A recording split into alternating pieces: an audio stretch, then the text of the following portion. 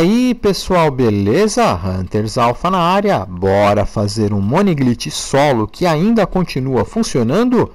Bora lá então, pessoal. Para fazer esse glitch, você vai precisar ter uma garagem, pode ser uma garagem comum ou não, ter carros gratuitos ou veículos que você não queira mais dentro dessa garagem.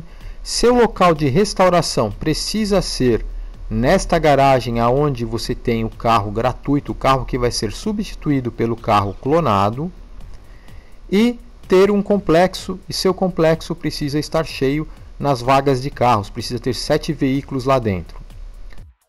Eu vou pegar o carro que eu vou duplicar, que é um Elege Retro personalizado. Você pode ter esse veículo em qualquer garagem. Eu estou fazendo aqui na mesma garagem que eu vou duplicar para ser mais fácil para vocês verem. E uma dica que eu vou dar para vocês agora é treinar o momento que você vai precisar ser rápido. Vai ter um momento que você vai ter que apertar o botão Options, vai colocar seta para o lado para em GTA Online, apertar o X, seta para cima uma, duas vezes para encontrar uma nova sessão. Isso você vai ter que fazer bem rapidamente. Quando? Eu vou levar esse carro, que vai ser duplicado, lá para o complexo. Vou receber aquela mensagem de complexo cheio.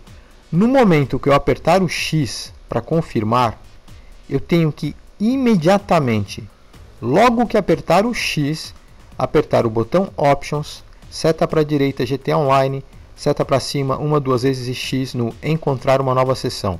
Eu tenho que fazer isso antes que na cutscene, que é aquele filminho, apareça o carro entrando dentro do complexo. Eu vou fazer na velocidade normal para mostrar para vocês e na sequência eu vou colocar câmera lenta para vocês verem e não ter erro. Beleza, pessoal? Caso você erre, você repete a operação. Então vamos lá.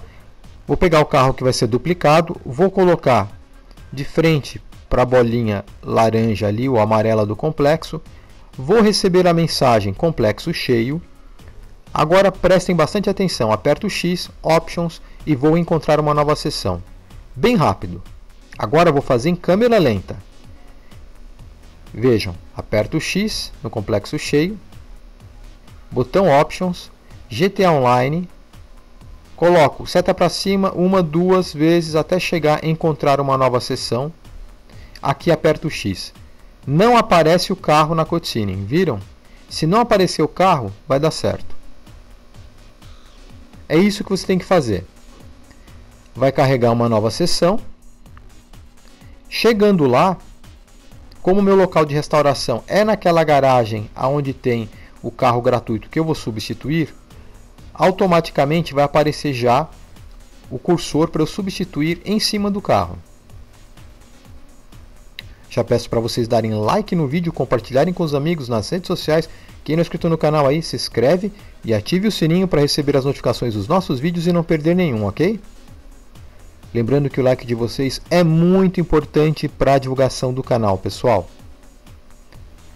Está carregando, às vezes demora um pouquinho nessa tela, você aguarda já vou para o meu local de restauração.